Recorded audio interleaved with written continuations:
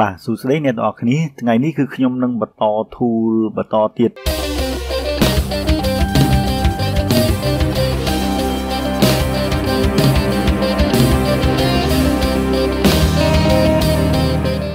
ថ្ងៃនេះយើងចូលដល់ tool មួយគឺឈ្មោះវា rotate scale reflect បាទ shear បាទអឺធូទាំងអស់ហ្នឹងគឺតកតងនឹងការធ្វើឲ្យបាទ object យើងហ្នឹងប្រែប្រួលបាទអាលើហ្នឹង rotate ហ្នឹងបវលបាទឥឡូវគឺខ្ញុំនិយាយពីបវលមុនមិនថាតកតងនឹងការបវល object នៅពេលដែលយើងមាន object មួយហើយយើងចង់បវលវាដូរទិសវាណាអឺអញ្ចឹង shortcut វាគឺអក្សរ O បាទយើងចុចតាអក្សរ O ទៅរត់មកដល់ហ្នឹងឥឡូវជំមើខ្ញុំឧទាហរណ៍ អានេះខ្ញុំពងឲ្យឈរនៅលើនេះឃើញទេអញ្ចឹងខ្ញុំចុចអក្សរ O មកឃើញគេវារត់ដល់ហ្នឹងឯងបាទអឺអញ្ចឹងខ្ញុំត្រូវយកអីមួយដើម្បីមកឧទាហរណ៍ខ្ញុំគូសវាអីមួយអញ្ចឹងទៅនេះខ្ញុំចេះតែគូសសិនទៅបាទអញ្ចឹងណាបាទឧទាហរណ៍ថាមាន object មួយដែលមុខវាអញ្ចឹងហើយយើងចង់បានរូបមួយទៀតខាងហ្នឹងនេះខាងនេះឲ្យវាមានមកខាងបែរមកខាងនេះបាទអញ្ចឹង បាទអញ្ចឹងយើងចាប់ផ្ដើមយើងឈរបាទយើង select ទាំងអស់ចេះណាបាទយើងយើង select វាម្ដុំណាតិចយើងចំប៉ះអីចំបន្តិចហ្នឹងវាទៅអាបន្តិចហ្នឹងអត់ខុសហើយបាទយើង select ទាំងអស់ចឹងមក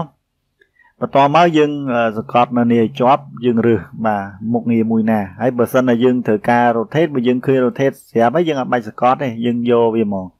បាទយើងយកហ្នឹងមកបាទបន្តមកដើម្បីឲ្យវាចេញមុំ ស្រួលយើងឬក៏យើងអាចចម្លងវាអញ្ចឹងណាបាទមានថាអឺមានវិធីមួយគឺយើងអាចឲ្យវា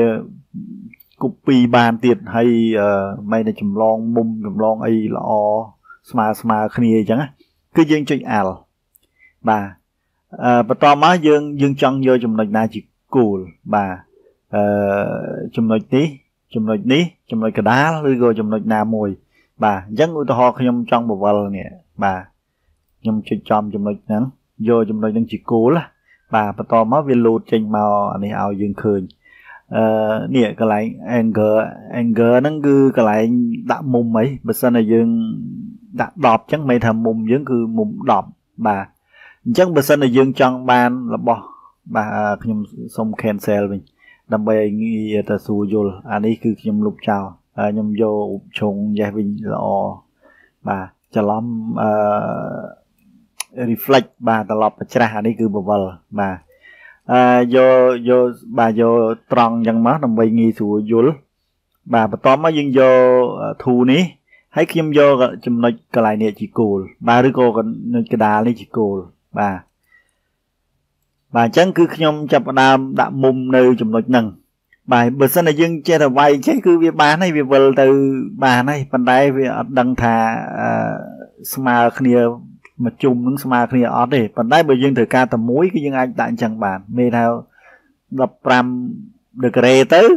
copy វាទៅគឺវាទៅហើយនេះឃើញទេវាវាទៅប៉ុណ្្នឹងហើយបាទអញ្ចឹងដល់ពេលយើង control D បាទវារត់តគ្នាចា បាទប៉ុន្តែមិនដឹងថាតើវាស្មើគ្នាអត់ទេអាមេនៅពេលដែលចុងក្រោយបាទឧទាហរណ៍ឥឡូវដោយសារអឺ15ហ្នឹងវាគៀកគ្នាពេកយើងមើលអត់អត់ឃើញអញ្ចឹងណាឧទាហរណ៍ឥឡូវយើងចង់យើង20បាទ copy វាបាទ control D បាទអឺ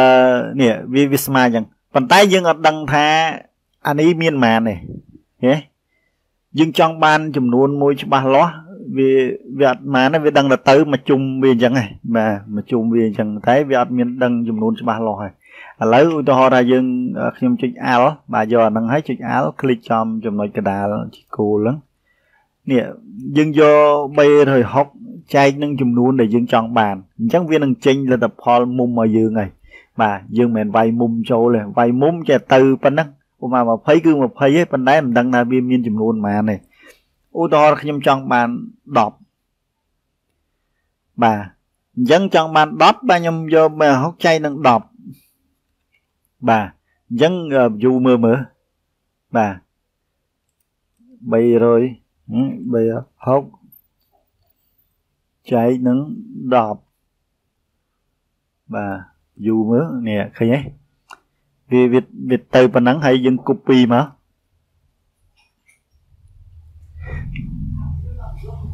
បាទបន្ទាប់មកយើង control D បាទ control D ដើម្បីឲ្យវាអូតូយើងរាប់មើល10អត់1 2 3 4 5ឃើញទេ5អញ្ចឹងខាងនេះទៀត5 10ណាកម្លៀតគឺវាអូតូចម្លើយវាមិញហើយគឺដឹងតែមួយជុំហ្នឹងគឺមានទាំងអស់10បាទ control set វិញបាទឧទាហរណ៍ខ្ញុំចុចនៅអាច យកអាកដាលនេះនេះអាក្រោមតែកដាលជាគោលនេះក្រោមហ្នឹងតែចំកដាលអញ្ចឹងខ្ញុំចង់បាន10ចង់បាន20បាទ360ចែកនឹង20បាទហើយខ្ញុំ copy វាមកបាទអញ្ចឹងវាឲ្យមកប្លោះហ្នឹងហើយ control D ដើម្បីឲ្យវាអូតូយើង copy គ្រប់20គេវាទៅមកជុំស្មើគ្នាដូចគ្នាដោយអាយើងវាយចូលឆៅឆៅហ្នឹងគឺដូចគ្នាតែអានេះរាប់ទៅគឺ20មែនណា បាទអត់មានអឺចេះតែចេញទេបាទឧទាហរណ៍បើយើងប្រើឆៅវាយវាយបែរថាវាយយកហ្មងអត់ចែកអត់អីចឹងបាទខ្ញុំលុបចោលបាទខ្ញុំយកអាហ្នឹងមកដែលបាទចុច L បាទបញ្ជាក់សារឡើងវិញចឹងណានេះឃើញ18យើងចេះតែវាយបើគាត់ជូន18ទៅហើយវាត្រូវ20អាហ្នឹងយើងគាត់ជូនទេឥឡូវឧមាខ្ញុំចង់បាន25 អើយបើចេះវាយដឹងមកឥឡូវខ្ញុំដាក់មុំ25សាកមើលបាទត្រូវអត់បាទ copy បាទនេះមុំ25មកឥឡូវ2បាទ control D មក3 4 5 6 7 8 9 10 11 12 13 14បាទ14នេះហើយអានេះអត់ស្មើគ្នាមួយទៀតនៅចេះបាត់អូខេឃើញខុសហើយបាទបាទឃើញខុសគ្នាបាត់បាទអញ្ចឹង បាទអញ្ចឹងមេថាវាវាអត់ច្បាស់លាស់មួយអញ្ចឹងណា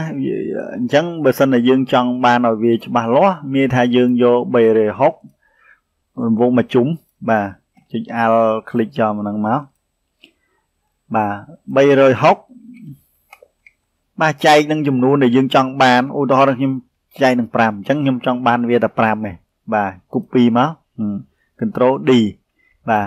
ឃើញទេ ហើយទោះបីយើង control D បន្តទៀតក៏វាឲ្យដែរឲ្យតែជន់លើគ្នានេះ control D មួយទៀតបាទនេះមកដល់នេះនេះឥឡូវយើងចង់ដឹងលើកវាមកបាទនេះឃើញទេឃើញវាជន់លើគ្នា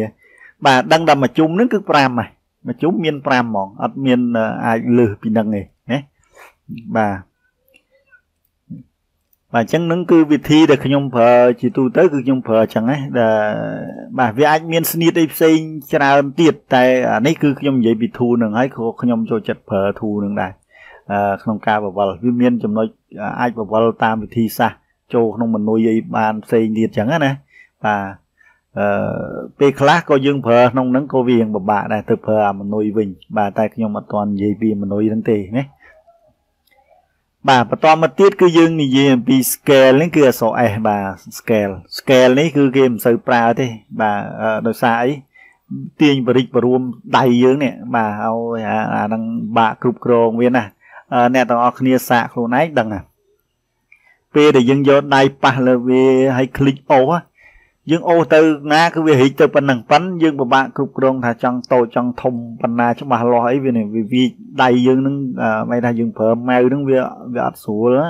តែម៉ៅយើងកវីទៅណាវារីកទៅប៉ុណ្ណឹងរួមប៉ុណ្ណឹងបាទអូតូអញ្ចឹងបាទអញ្ចឹងយើងពិបាកគ្រប់គ្រងបន្តិចអឺភីច្រើនគេមិនសូវប្រើតាមហ្នឹងដែរណា បាទយើងចូលដល់ reflect បាទ reflect ឥឡូវគឺយកអានេះមក reflect មិនសូវ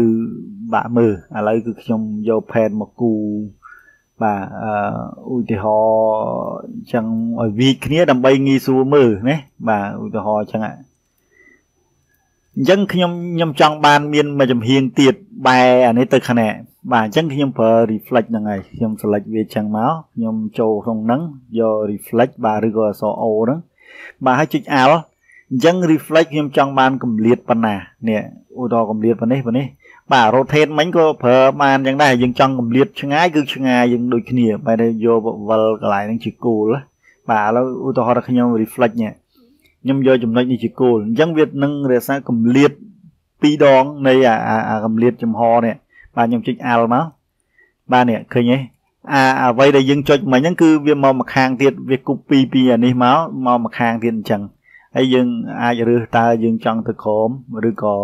មកស្ដាំតែយើងចុចមកខាងនេះគឺសំដៅថាមកខាងស្ដាំហើយអញ្ចឹងយើងត្រូវយកអានេះហើយណាបើបើយើងចង់មកក្រោមគឺយើងចុចមកក្រោមហើយយើងយកអានេះវាទៅក្រោមហើយណាឥឡូវខ្ញុំយកទៅស្ដាំសិនបាទនេះមានថាយើងអាចដាក់មុំខ្លួនឯងមិនទៅស្ដាំទៅឆ្វេងតែទៅវាយមុំទៅណាបាទតែពីច្រើនគឺតែនេះយើងអត់មានត្រូវការមុំទេយើងត្រូវតែការបច្រាស់ទៅមកអញ្ចឹងណាឧទាហរណ៍ឥឡូវខ្ញុំយកអានេះគឺវា មកខាងនេះអញ្ចឹងខ្ញុំ copy វាអានេះ view ឯងបាទឃើញទេឃើញអានេះយកចំណុចកដាលហ្នឹងឯងបែរនេះបាទដែលយើងខ្ញុំដាក់កម្រិតប៉ុណ្ណឹងហ៎បាទឧទាហរណ៍បើខ្ញុំរលិចចេះហើយខ្ញុំយកអាហ្នឹងដែរហើយខ្ញុំមកក្រោមមកក្រោមប៉ុណ្នេះបាទហើយបើថាក្រោមជាប់ជាប់នឹងអានេះហ្មងអញ្ចឹងពេលវាត្រឡប់បាទយកមកក្រោមគឺកន្លែងហ្នឹងវាជាប់នៅហ្នឹងបាទ copy មកនេះឃើញវាវាជាប់ហ្នឹងវាអត់ clear ដូចអានេះមិញទេ ចុះបើខ្ញុំចង់បាន clear clear ចុច alt คลิกឲ្យ clear ចេះមកបាទហើយយកអានេះមកហើយ copy មកឃើញ clear ទេបាទបវលមិញគឺអញ្ចឹងដូចគ្នា បាទឥឡូវនៅរូបហ្នឹងហើយខ្ញុំចង់បវលបាទអឺបាទចុច alt បាទខ្ញុំដាក់ឆ្ងាយប៉ុណ្ណឹងឆ្ងាយប៉ុណ្ណឹងនេះវាបវលប៉ុណ្ណឹងបាទខ្ញុំឧទាហរណ៍ copy យកឃើញទេឃើញកម្លាតវាអញ្ចឹងណាបាទវាអូតូនៃអាកម្លាតហ្នឹង បាទបន្តមកសៀសៀនឹងធ្វើឲ្យវីធ្វើអីបាទយើងចុចចំណុចណាមួយមកទាញវាវីចាអាហ្នឹងអាស្រ័យលើដៃយើងទៀតវីហ្នឹងទៅដៃយើងប្រើម៉ៅវាអត់ល្អក៏វីទៅអត់ស្អាតដែរបាទគេមិនសូវប្រើប្រហែលដែរឥឡូវខ្ញុំយកអានេះវិញវាងាយស្រួលមើលបាទនេះអត់ខ្ញុំយកចំណុចនេះជាគោលឃើញឃើញទាញមកវាចឹង បាទទៅមកវាត្រង់អញ្ចឹងបើអត់ត្រង់ទៅណាមកណៃអស់នេះញ៉ៃញ៉ៃអស់ម៉ៅយើងទាញញ៉ៃញ៉ៃវាទៅញ៉ៃញ៉ៃដែរនេះឃើញទៅណាបាត់ហើយទៅដូចបន្ទាត់ត្រង់វិញបាទអញ្ចឹងណា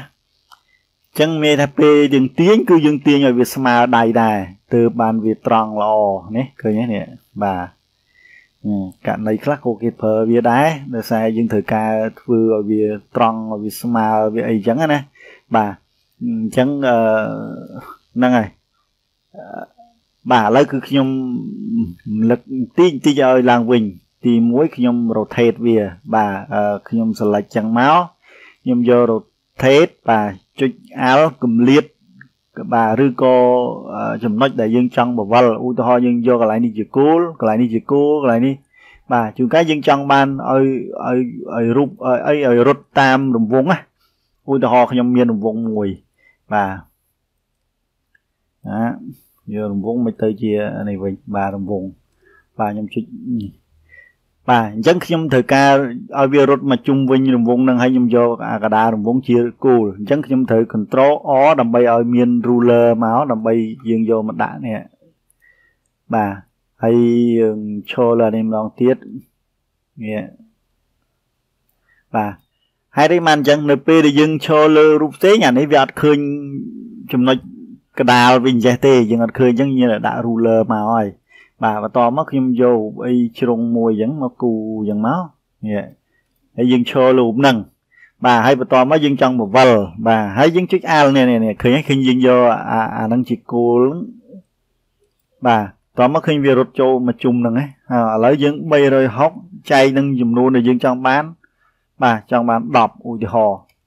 បាទហើយ copy វាទៅណា control D បាទឃើញវារត់មកជុំនៅវងហ្នឹងឯងបាទដោយសារយើងយកអាចំណុចកដាលនៃវងជាគោលអញ្ចឹងបាទខ្ញុំ control shift ថយក្រោយវិញបាទបន្តមក scale បាទ scale គឺទាញឲ្យតូចធំបាទហើយ reflect នឹងត្រឡប់ប្រច្រាស់បាទបាទ ដូចជា reflect ហ្នឹងមិនទេអញ្ចឹងក៏មិនបាច់លឹកឡើងវិញដែរណាគឺហ្នឹងហើយប៉ុណ្ណឹងតែម្ដងណាសង្ឃឹមថាអ្នកនរគ្នាជួយ like ជួយ share ទៅបាទចង់ឲ្យបង្ហាញ tool ទៀតគឺខ្ញុំនឹងធ្វើ tool បន្តទៀតអញ្ចឹងណា